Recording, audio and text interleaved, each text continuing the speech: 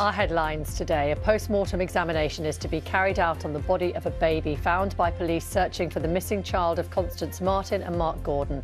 The couple are still being questioned by police.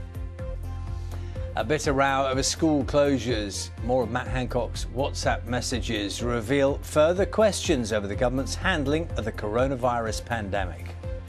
The Duke and Duchess of Sussex say they've been told to give up their UK home in the grounds of Windsor Castle, given to the couple by the Queen. Good morning. Millions of meals are going to waste, and with food poverty rising, how can we get the surplus from the farm to your dinner table? I'll have the details.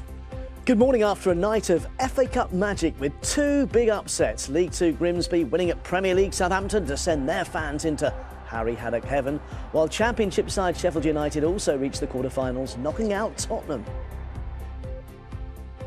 Good morning from Birmingham. It's World Book Day and it's also a new chapter for the UK's biggest children's story writing competition. 500 Words is back on the BBC and it's here on Breakfast.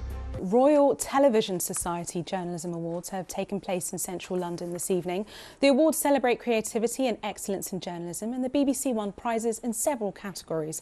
The, BBC, the News Coverage International Prize was awarded for the BBC's coverage of the war in Ukraine, which judges described as brave frontline reporting and insightful coverage of the refugee problem. The network presenter of the year is Clive Myrie.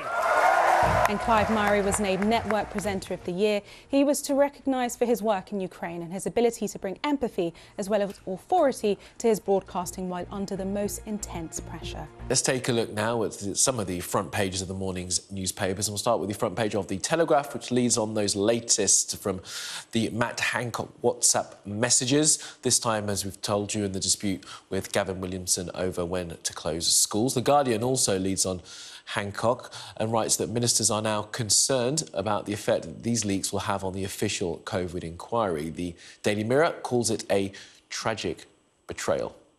The Metro also leads on the leaks, while The Times reports that millions will be helped to come off antidepressants and painkillers in an effort to deal with addiction.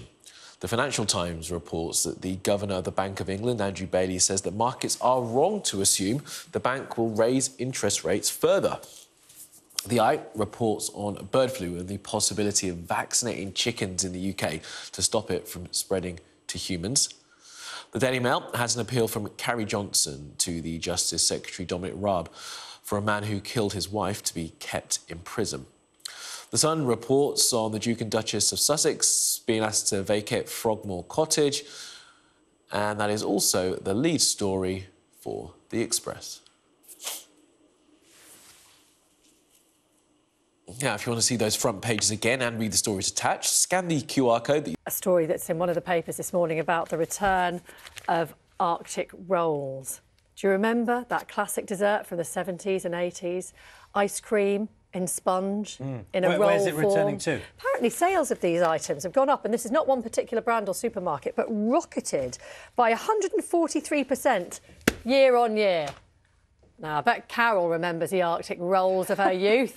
do you, Carol? I certainly do, with some canned fruit. Oh, my goodness, that was the height of luxury, Rachel.